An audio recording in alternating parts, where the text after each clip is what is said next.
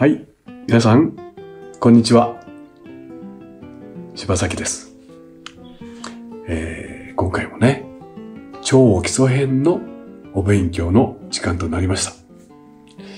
えー皆さんお元気ですか？今回のテーマは、この平筆を使って描く。その第2回目です。前回もね、この平筆でやりましたよね。この平筆と今回の平筆、見比べるとちょっとこっちの方が小さいでしょ？ね。でも大大きさがね、大きい小さいの違いだけじゃなくて、実は今回の平筆はね、前回のと違ってまた穂先が違うんですね。穂先が。見てわかるかな？で前回のはこれは動物の毛だったからね、ここ柔らかかったんですね。ほら、こんな曲がっちゃうような柔らかな筆です。今回のはね、ここがね、アクリルなんですね。まあ、えー合成樹脂ですね。だから、こんな風にとても硬いんですよ。で、えーこの硬さをね、活かして、えー描く。そういうお勉強をします。えー皆さんたちが、えーそうですね、絵を描くときに、まあ、ちょっとね、慎重になったり、手こずるのは、はっきりした形を描くときですね。なんか決まりきった形。例えば、円を描くとかね。それから、直角を描くとか。そのような時は、少しこう、気を使うでしょ？だから、多分鉛筆でこうね、きちんと形を描いてから、なんか細筆でね、こう、その角のとここうやって塗ったりする人もいるかと思うんですけども、なんと、今回のこの平筆。これはね、それを手早く解決してくれる筆でもあります。その筆の扱いと直角、あるいは角度のついた表現を合わせてお見せしたいと思います。では、画面をね、見てくださいね。はい、ね、ね、これ見てください。これ、しっかりとこれ角度があるでしょ？この角度を生かして描くとなると、できるだけ直角ぽいものとして、私ね、ここに建物の形を用意しました。ね、これをね、この筆を生かして今から描きます。あ、では早速やってみましょう。これはね、前回の筆でしたね。はい、こっちに置いて。はい。まず、絵の具を溶いていきましょうね。えー、っと、どうしようかな。まあ、ね、えー筆使いだけだからまたいつもの通り、プルシャンプルでやるね。からですね。ナイロンブラシですよ、これ。だからこう、ほんと硬いんですよ、ほら。ですね。これを持ってきて、じゃあ溶きますね。ナイロンブラシです。よいしょ。それで、こうですね、筆つけました。はい。では、これでね、とりあえず塗ってみますね。塗りますよ。ほら、ここ角が立ったでしょ？ね、一回で描けるんですよ、形が。これは便利でしょう。もちろん、横の形に、こうも引けますもんね。とっても便利です。これもし、ねえ、うんと、ふ、た、た、普通の筆で塗ろうと思うと、ここの角とか難しいよね。でも、これ、これだったらもう一回でできるんですね。うん。だから、えーこれを二つこう続けてこう書けば、もっと広い面になってきます。もちろん見続ける、続けることも可能ですよね。ね。だから、いかようにもきっと書けると思います。さあ、では、このた、この表現ですね。この平筆だと、角が立つ、まあ、直角のね、それが長四角だったり、もっと広い面として描けるんだという、このテクニックを活かして、こっちを塗ってみましょう。そうすると、ここのあれですね、この建物壁なんかいいですね。これで描くのは。では、ここを塗ってみたいと思います。では、筆を洗って何色にしようかな。うんと、なんか楽しそうなお家。だからイエローかなんかしてみようかな。イエローを解いてきて、ですね。はい。で、たっぷり筆につけて、ここですよね。これとっても簡単です。こうやって、こうですもんね。もう連続で書いていっちゃいましょうか。っても簡単なんですね。これが平筆の紅葉ですね。さあ、もうできちゃいました。はい。えっ、ー、と、ちょっと乾かそうかな。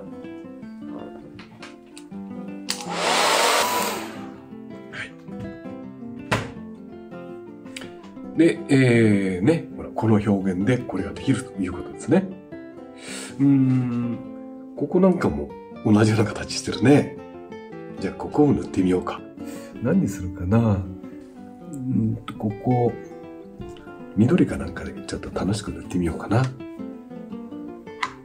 緑か何かで、ここになんかお花かなんかあるような。お花屋さんでもいいかな。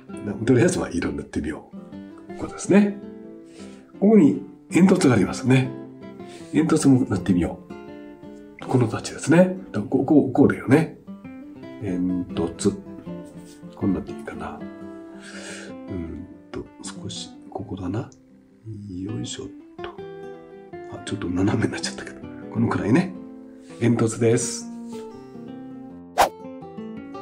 さて、えー、そこで、今度はですね、まあ、ここでこう直角にね、角を立てて塗ることはこれは得意技なんですけども、でもいつも直角でしか塗れないということないんですよ。例えばこんなとこですね。こう角度がね、もっと鋭角になってるところ、そういうところでも十分角度できます。ではそのタッチやってみますね。またプルシャンブルーを解いてきて、同じように筆につけたら、ね、これ、これですね。とん、とんがった、こんな形です。まず、まず上をこう引きまして、で、こっからね、こうやればいいんですね。ほら。とんがったでしょ？このようにして。でこれはあなたの工夫一つですね。えっ、ー、と、もっとこうやって、もちろんもっとこうここで鈍角にね、することもできます。それがだんだん鈍角になってくると、こう、直角になるんだよね。さあ、そのやり方でじゃあ、ここ塗ってみましょうか。ですね。えー、っと、屋根の、屋根、何にしようかな。ここも素敵なお家にするから、ピンクの屋根かなんかするかな。ピンクの屋根。いいね、可愛くて。何か、童話に出てくるなね。メルヘンな世界で、まずたっぷり絵の具を解いたら、ここですね。だから、ここ、これはもうちょっとはみ出してもいいんですね。こうやって当てがって塗って、こっから、こうですよね。よいしょ。わあ、簡単でしょ？これも続ければいいのね。ここから、ここら辺に、よいしょ。これね、こうやって縞模様になったりすると余計面白いよね。こうやって、なんかや屋根柄っていう雰囲気が出てきてね。わざとこね、この間をちょっとこう、ちょっとこう開けてあげたりしてね、こういう島模様して面白いんだよね。絵としては。こんな、こんな工夫もあってもいいんですよ。よいしょーっと。ね。ほら、こんな綺麗でしょ？これ島模様してもいいです。いっぺんに塗りますね。とっても便利です。はい。ね。使い方分かったでしょ？では、そうだね。この建物は立体に見えるように、じゃあこっち日陰しましょうね。はい。日陰というのは、その固有色の暗くて冷たい色なんですね。まあ、ほん、この色をね、全部こう塗っちゃって、それにブルーを重ねてもいいんですけどね。うん。まあ、ここで混色しましょうか。こう少し、これね、青っぽい色をこう重ねて、開けて、でこっちに塗りましょう。ここは、ここの場所は、こう、とんがった形だから、これと同じ、この、こんな表現と、が、この表現が2つあるよね。だからそれを合わせて考えています。ここだよね。まず、ここ、こうやって、こっちへよいしょっと。こうだよね。でこのままこっちへよいしょ。よいしょっと。こう、こう、こう塗ってくるんだよね。こうだよね。それでこのまま今度は縦に、よいしょっと。ね。うわー、平筆とっても簡単でしょちょっとこう合わせて。あ、立体っぽく見えてきました。まあ合わせて、このね、軒下を少しこう暗くしてあげてもいいですね。この煙突のこちら側も引っ掛けたやつね。じゃあここの、この茶色に、ちょっとブルーを混ぜて、それで、ここですね。ここだから、こう、こんな感じかな。こうやって、こうやって塗る。から、この日陰がね、屋根にね、こうやって落っこってるので、ここもちょちょっと書いてあげるといいんですけど。お家立体っぽくなったでしょ？こっちもちょっと同じように塗っちゃおうか。こうだよね。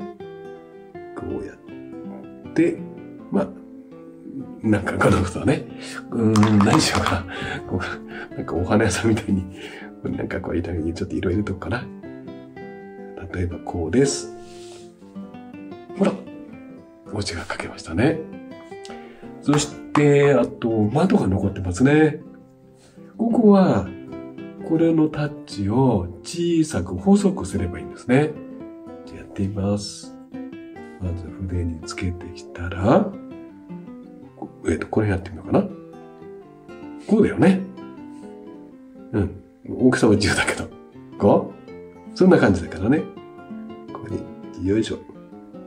よいしょ。よいしょ。よいしょ。こうだね。えー、色変えようかな、ちょっと。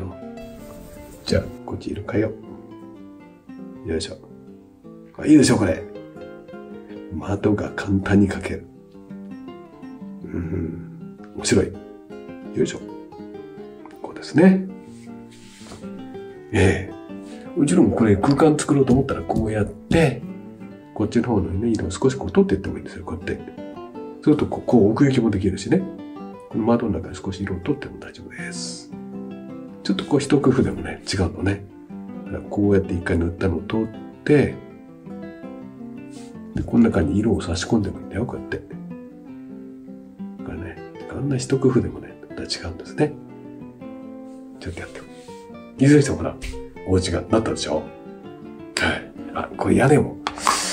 屋根、屋根も赤くしよう。屋根。屋根ね。これも同じですね。こうやって、こんなん、こんなん、こんなんですね。ああ、お茶ができてきました。で、ここ、ここはこれと延長でね。じゃあ芝生みたいにしようかな。えー、ここね。うんと芝生にしてこうやってこっちへ、こうやって道を向けちゃおうかな。こうやろうかな。でね、こうやって。うーん、とっても簡単ですね。ほら、道のアプローチできました。こうやって、こうだね。から、ここ、お家の日陰だから、少しブルーっぽくしてあげるちょっとだよね。うん。もう少しこう、アプローチ今度暗くしようか。お家のね、道ができて。で、後ろの方。じゃあちょっとこうやって、紐を書いてあげましょう。うん。もうちょっと赤い木なんかもちょっと賑やかにしようかな。もうこれはも楽しみですね。そして、暗い何か色を用意してきて、っとね、木の幹を少し描いて、ね。はい。出来上がりです。そうですか？ねえ。こう、本当に 直角とかね、この角が立ってるとこは、やっぱりね、神経使うでしょ？だから、鉛筆でこう書いてからね、細筆でここへ残さずこうやって塗ってると思うんだよね。それをいっぺんに解決します。このね、平筆。しかもこの穂先は硬いやつですね。もう、それをただタッチを置くだけ。そして、並べて面にするだけ。この角度をちょっと変えるだけ。あるいは少し細くするだけ。そして内がね、糸も簡単にかけるんですね。これは絶対試してみる価値があると思います。ね、うーん、こんな平筆きっとね、手に入ると思うんですね。これはね、もうナイロンブラシですからね、あの、とても安いものです。ね、えー、もし手に入る方は、ぜひ試してみてくださいね。はい。えー、今回は、えー、平筆を使って、えー、角度のある形を描いてみるというお勉強でした。これを見てね、なんか役立ちそうだなと思う方は、評価と、そしてチャンネル登録をね、よろしくお願いいたします。えー、最後までご視聴くださって本当にありがとうございました。それではまた